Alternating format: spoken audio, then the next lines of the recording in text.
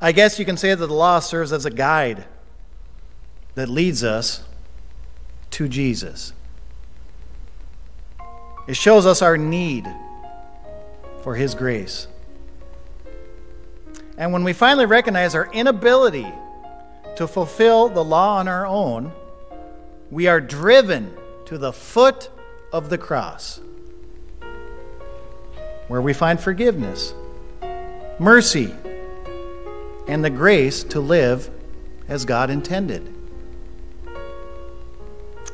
Remember this the law isn't just a set of rules that we should follow legalistically while ignoring their meant purposes.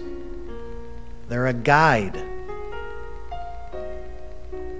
They're a signpost that points us to our need for God's rescuing grace. Reminds us that without Jesus, without Jesus, we are lost. But with Jesus, through faith in Him, we are redeemed, restored, and empowered to live in the freedom of His love.